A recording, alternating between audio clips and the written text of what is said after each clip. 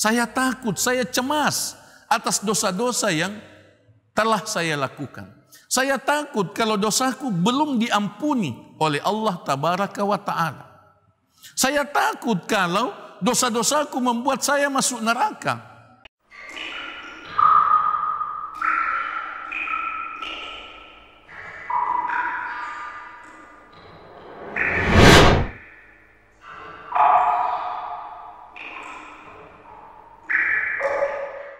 Assalamualaikum warahmatullahi wabarakatuh. Alhamdulillah wassalatu wassalamu ala Rasulillah.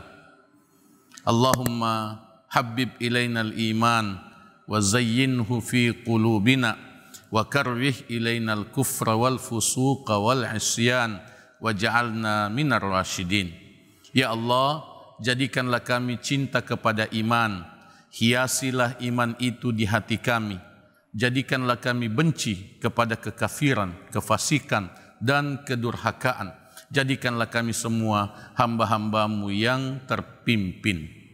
Allahumma amin. Amma ba'd.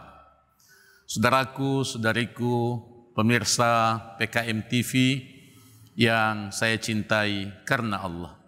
Kita saling mendoakan kebaikan selalu. Alhamdulillah kita berjumpa lagi dalam tadabbur singkat hadis takwa. Tadabbur hadis takwa pada kesempatan ini adalah satu penggalan dari hadis yang panjang hadis Umar bin Khattab radhiyallahu anhu. Beliau meriwayatkan dari Rasulullah sallallahu alaihi wasallam bahwa Rasulullah sallallahu alaihi wasallam bersabda antara lain man sarratu hasanatuhu wa sa'athu sayyi'atuhu fahuwa mu'min.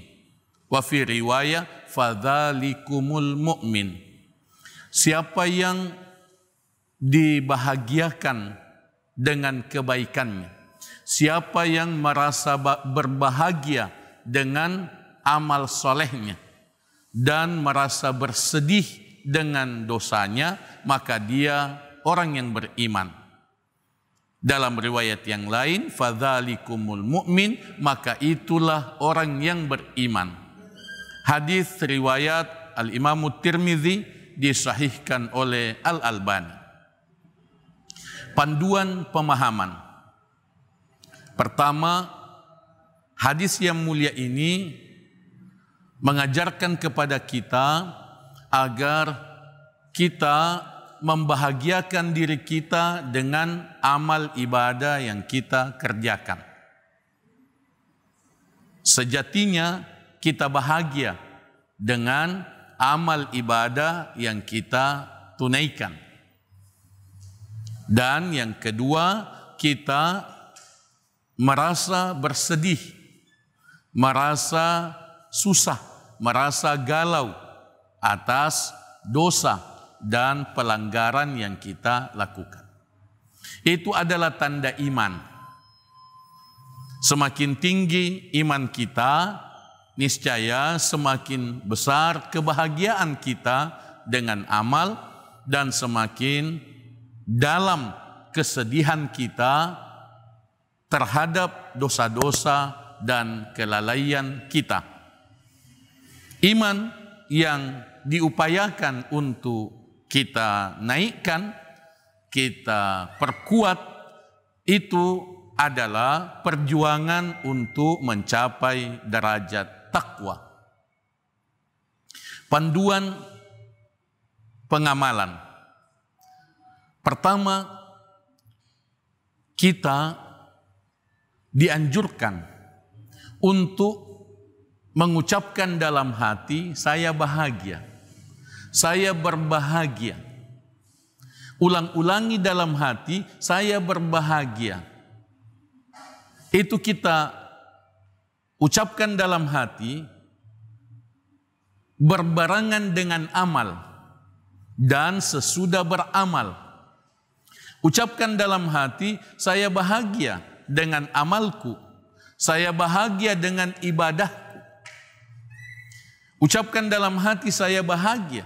setiap kali kita mengucapkan kalimat-kalimat zikir, setiap kali kita membaca alhamdulillah, sungguh aneh kita baca alhamdulillah tapi tidak ada kata bahagia dalam hati kita. Semestinya kita mengucapkan saya bahagia. Saya bahagia dengan ucapan kita alhamdulillah. Saya bahagia bahwa saya sudah berzikir. Saya bahagia bahwa saya sudah beramal. Yang kedua, kita juga mesti mengucapkan dalam hati kalimat-kalimat sedih. Kalimat-kalimat saya bersedih. Saya susah atas dosa. Saya takut, saya cemas atas dosa-dosa yang telah saya lakukan. Saya takut kalau dosaku belum diampuni oleh Allah tabaraka wa taala. Saya takut kalau dosa-dosaku membuat saya masuk neraka. Kita mesti sedih memancing kesedihan dan berusaha untuk menangis. Mengingat dosa-dosa yang pernah kita lakukan. Ini yang mesti kita amalkan agar kita mewujudkan peningkatan iman dan upaya untuk mencapai derajat takwa kepada Allah tabaraka wa taala. Panduan penghayatan. Kita mesti menghayati amal yang kita kerjakan sebagai perjuangan kita untuk menyucikan jiwa kita. Amal ibadah yang kita tunaikan itu adalah perjuangan untuk menyucikan jiwa kita. Penyucian jiwa ini kita hayati betul. Kita ucapkan dalam hati bahwa semoga ibadah saya ini membersihkan jiwa saya dari kotoran, dari noda-noda dosa dan maksiat. Hanya dengan begitu kita berharap Allah tabaraka wa taala menyucikan jiwa kita melalui amal ibadah yang kita optimalkan. Sebab jika tidak kita lalai. Jika tidak kita lalai. Jika tidak maka beramal atau tidak beramal sama saja. Kita sholat di masjid atau sholat di rumah sama saja.